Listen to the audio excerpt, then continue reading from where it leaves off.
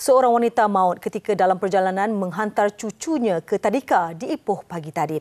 Dalam kejadian di Kampung Cangkat Kinding, Tanjung Rambutan, kereta dinaiki mangsa dan cucunya terbabit dalam kemalangan dengan sebuah motosikal. Penolong pengarah bahagian operasi Jabatan Bomba dan Penyelamat Malaysia JBP Perak, Sabarozi Nur Ahmad berkata, kejadian berlaku sekitar jam 7.15 pagi.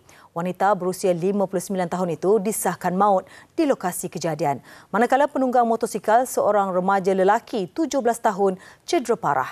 Ujarnya pasukan bomba yang tiba di tempat kejadian mendapati wanita itu dalam keadaan tersepit di tempat duduk pemandu. Cucu mangsa iaitu kanak-kanak perempuan 6 tahun yang berada di dalam kereta terbabit tidak mengalami kecederaan tetapi dirujuk untuk pemeriksaan lanjut.